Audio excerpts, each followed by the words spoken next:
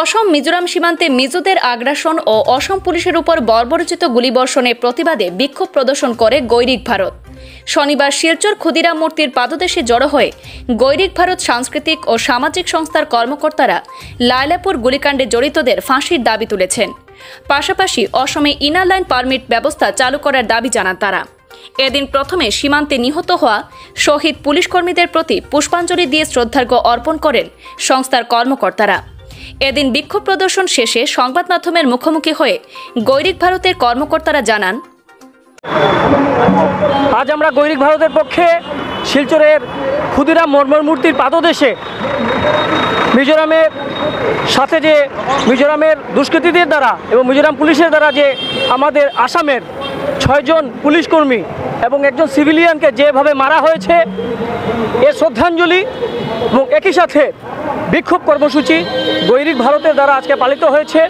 এর ব্যবস্থাপনায় ছিল গৈরিক ভারত শিলচরনগর আমাদের দাবি একটি, আমরা চাইছি ইন্দিরা গান্ধী যেভাবে পদক্ষেপ নিয়েছিলেন মিজোরামের উপরে সেই সময় উনি বলেছিলেন we want land not people মানে আমরা ভূমি চাই মানুষ না। সেই রকমভাবেই এখন সেই পরিস্থিতি সৃষ্টি হয়ে যাচ্ছে। আমরা ভারত সরকারের কাছে গৈরিক ভারতের পক্ষ থেকে দাবি করছি সেই রকম পদক্ষেপ উঠে আসুক। কারণ দুটো দেশের মধ্যে যুদ্ধ আমরা দেখেছি কিন্তু দুটো রাজ্যের মধ্যে যুদ্ধ হতে পারে না। সেই পরিস্থিতি সৃষ্টি হয়েছে।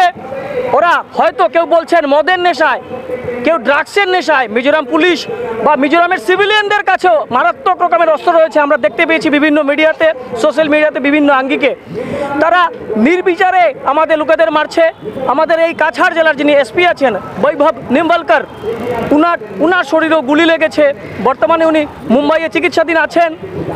ধলাই পুলিশের যিনি ওসি আছেন শাহাবুদ্দিন বরভুইয়া, উনিও চিকিৎসাধীন আছেন শিলচর মেডিকেল কলেজে। ইত্যাদি অনেক যারা আছেন পুলিশ কর্মী এবং সত্তরের উপরে যারা পুলিশ কর্মী এবং সাধারণ মানুষ, তারা অতীব কষ্টে আছেন। আঘাতপ্রাপ্ত গুলি আঘাতপ্রাপ্ত গুলি করেছে মিজোরাম পুলিশ এবং সাথে মিজোরামের অনেক দুষ্কৃতী। লালডেঙ্গার সময় যেভাবে ইন্দিরা গান্ধী পদক্ষেপ নিয়েছিলেন এবং ইন্দিরা গান্ধীর পদক্ষেপ ছিল, উনি বলেছিলেন আমার ভূমি চাই মানুষ চাই না। নরেন্দ্র মোদী সরকারের কাছে আমরা দাবি করছি গৈরিক ভারতের পক্ষে। এইরকম পরিস্থিতি আবার সৃষ্টি হয়ে গেছে, বারবার সৃষ্টি হচ্ছে। লাল থান হাওলার সময় হোক বা সেই সময় লালডাঙ্গার সময় হোক, একই পরিস্থিতি সৃষ্টি হয়ে গেছে। আমরা গৈরিক ভারতের পক্ষ থেকে বারবার একই কথা বলছি, ইন্দিরা গান্ধীর ভূমিকা সঠিক ছিল। আমাদের মুখ্যমন্ত্রী ভালো পদক্ষেপ নিয়েছেন। উনি যারা মরে মারা গেছেন শহীদদের পরিবারের উনি পঞ্চাশ লক্ষ টাকা করে দিয়েছেন, দেওয়ার প্রতিশ্রুতি করেছেন এবং সরকারি পক্ষ থেকে চাকরি দিয়েছেন। কিন্তু একই সাথে মুখ্যমন্ত্রীর একটি কথার সাথে আমরা সহমত নই। সহমতটি হচ্ছে, মুখ্যমন্ত্রী বলছেন, একটু ধীরে সুস্থে সহ্য করে পরিস্থিতির সাথে দেখার। উনি মুখ্যমন্ত্রী আছেন, সেই কথা উনি বলবেন। কিন্তু সামাজিকভাবে আমরা বলছি, ইন্দিরা গান্ধীর নীতি সঠিক। মিজোরামের সাথে তৎকালীন সময়ে যা করা হয়েছে, তা আবারও করা হোক।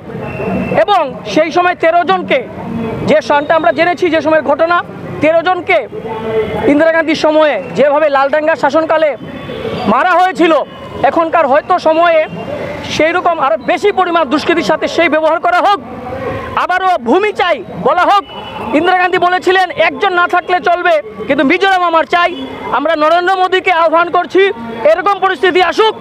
নরেন্দ্র মোদী যেন বলেন আমাদের হিমন্ত বিশ্ব শর্মা মুখ্যমন্ত্রী যেন বলেন, সরকারের যারা রাজ্য সরকার আছেন, কেন্দ্রীয় সরকারে আছেন, সবাই যেন বলেন, আমাদের ভূমি চাই। নতুবা ওরা ইনার লাইন পারমিটের সুযোগ নিয়ে আমাদের এখানে আসবে, আমাদের লোকেদের মারবে, আর আমরা যাওয়ার জন্য, ব্যবসা করার জন্য আমাদের অন্য রাজ্যের মানুষ, ব্যবসার জন্য হোক, চাকরির জন্য হোক, আমাদের চাই ইনার লাইন পারমিট তা একই নিয়ম হোক অভিন্ন দেওয়ানি আইন হোক সবের জন্য সমস্ত রাজ্যে এক নিয়ম হোক।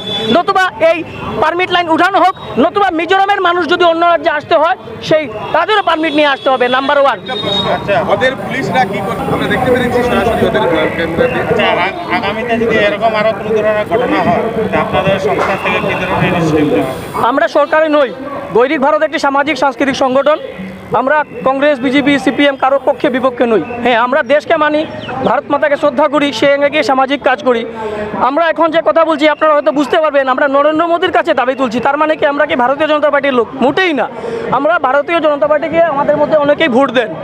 ব্যক্তিগতভাবে আমিও দেই, কিন্তু তার মানে ওটা না, আমরা রাজনৈতিক দলের লোক। আমরা সরকার এক জিনিস সামাজিক সংগঠন এক জিনিস সরকারের কাছে আমরা দাবি করছি, মিজোরামের সাথে কঠিন থেকে কঠিন ব্যবহার করা হোক, মিজোরামের সাথে। হ্যাঁ সিভিলিয়ানদের হাতে অস্ত্র আছে, মিডিয়াতে প্রকাশ পেয়েছে। সিভিলিয়ানদের হাতে কীভাবে অস্ত্র গেল, তা চলতে পারে না। এই পদক্ষেপ করা পদক্ষেপ কেন্দ্রীয় সরকার নিক। হয়তো রাজ্য সরকার তা পারবে না, কিন্তু কেন্দ্রীয় সরকার করা পদক্ষেপ নিক। সংসদে দাঁড়িয়ে বলছেন, সংসদের বাইরে ইন্টারভিউ সবাই দেখেছি। আমার কাছেও আছে, আপনাদের লাগলে আমি নিজে প্রোভাইড করতে পারব। সেই এমপি বলছেন, ওদেরকে কম মারা হয়েছে, আমি তাকে বেশি মারতাম সামনের বার বেশি করে মারা হবে। এই রকম কথা যদি একজন সাংসদ বলতে পারেন, সাংসদ থাকা তো দূরের কথা, সেই ব্যক্তিকে জেলে জায়গা দেওয়া উচিত। আমি এখানে বলব, নরেন্দ্র মোদীর ভূমিকা আমরা শ্রদ্ধা করলেও এখনকার সময় নরেন্দ্র মোদী সরকারের ভূমিকা দুর্বল আছে। ওকে গ্রেফতার করে জেলে পুরা হোক না হলে আরও মানুষ মারবে। মিজোরামের সাথে কঠিন থেকে কঠিন ব্যবহার করা হোক। ধন্যবাদ। Bureau report Tarang TV.